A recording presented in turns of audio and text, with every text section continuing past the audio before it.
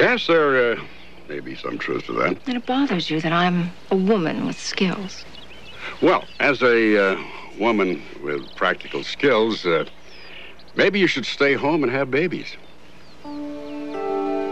Don't be upset, Cookie. You're going to be rich. I'm already rich. Five years from now, Gary Ewing is going to make J.R. seem middle class. You know, I'm glad we had this chance to chat. It's important for me to know where my business associates stand. And uh, where's that, Cookie? In the 19th century. You may think that women belong at home barefoot and pregnant, but uh, you've never dealt with me before.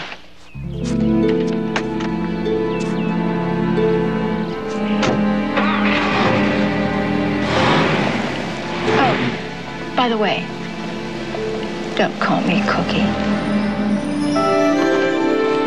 Mrs. Ewing? We have the results, Mrs. Ewing. I'm Mrs. Ewing. Oh, I'm so sorry, Mrs. Ewing. I'm Dr. Lador.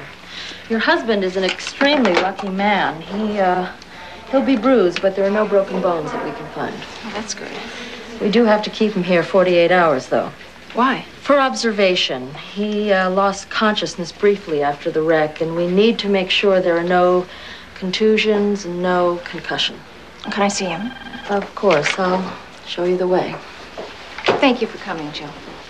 I'll tell Gary you were here.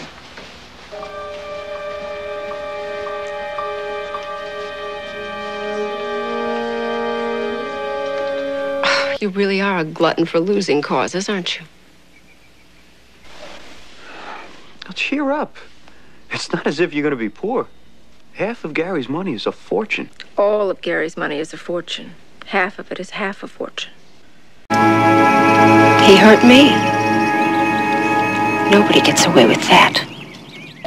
It would be a, a shame to throw away. Well, I mean, if you underestimate her feelings. Look, I may, I may be out of line, but uh, I'm making too much of this, but I'm really worried about Olivia. She's so Karen. vulnerable. You're right. But you are out of line.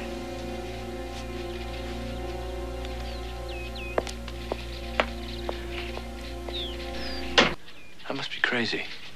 Well, you are if you think I'd give you the job back. Well, it wouldn't do you any good if you did. Because I would never work for you or anyone even remotely like you ever again. Oh, Ben. I was hoping you would ask for your job back. It would give me the opportunity to uh, turn you down cold. Now I guess I'll have to settle for having you thrown out. Don't bother. I'm gone. But you can be guaranteed I won't be back ever again. Oh, and I was afraid this meeting was going to end unpleasantly. Oh, Ben. Uh, don't forget to remember me to Valene.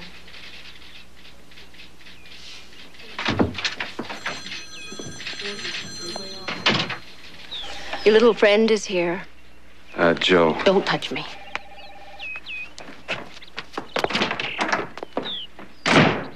I'm not coming between you two, am I?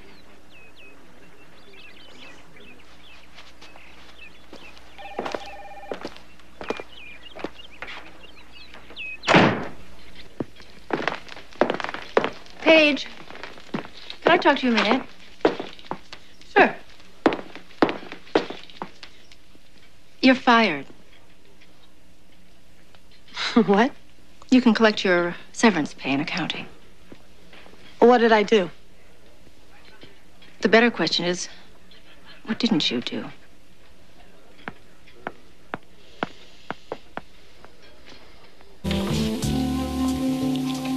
Gary? You ready for me now?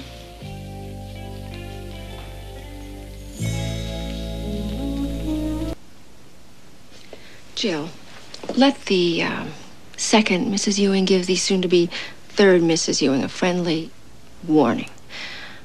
The first Mrs. Ewing doesn't go away. Ever.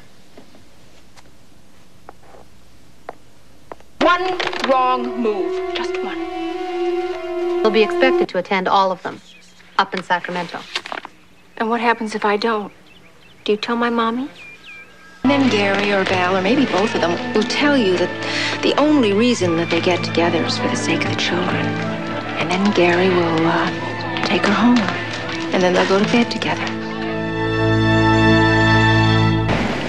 Oh, by the way, don't call me Cookie. Are you and my husband having an affair? I'm not saying we're having an affair, and I'm not saying we're not. I am saying I can have him anytime I want him. Do you think that the reason that I get under your skin is because you're afraid of me?